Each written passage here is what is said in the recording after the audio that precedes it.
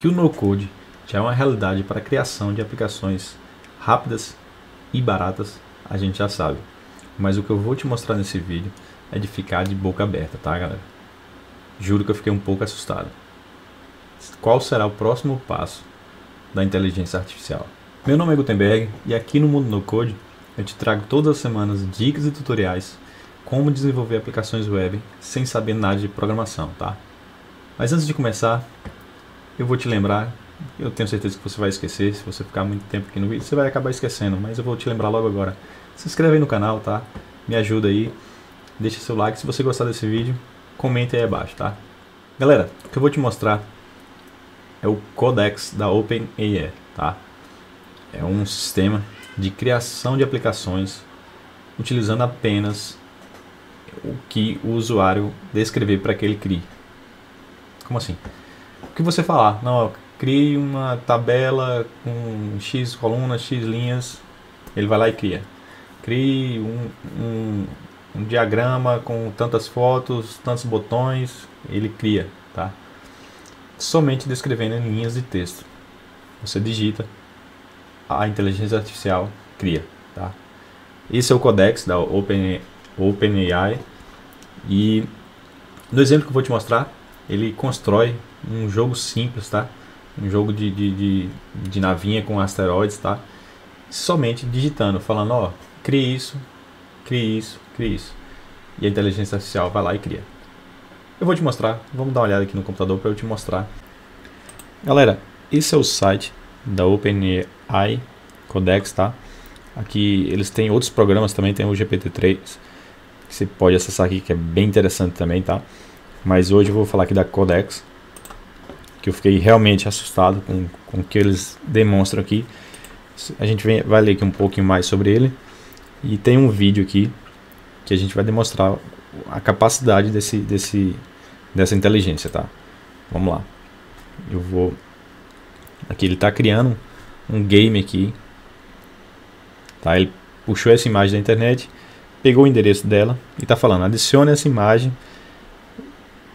com esse nome de um foguete, né? Um foguete espacial. Ele já adicionou aqui o código, tá? Adicionou a foto. Agora ele está falando para ficar um, um, pouco menor. Ó, ficou menor.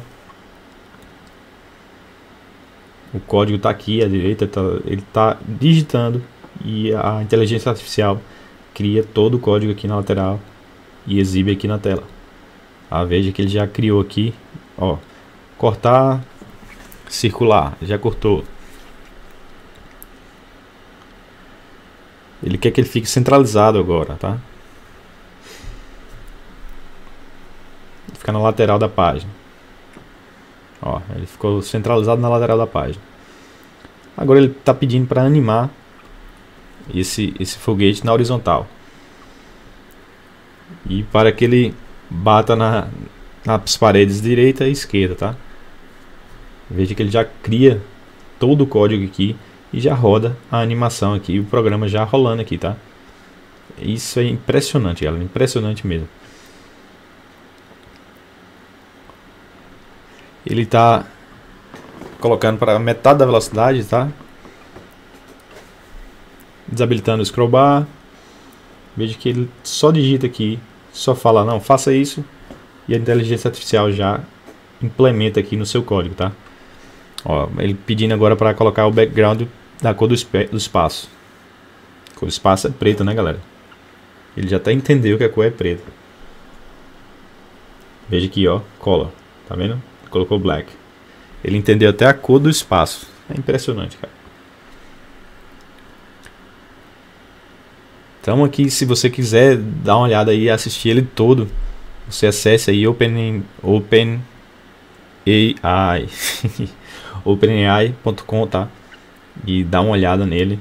Se, e se você quiser é, testar, você pode acessar aqui, ó, e preencher esse formulário aqui e torcer para que eles aceitem, né?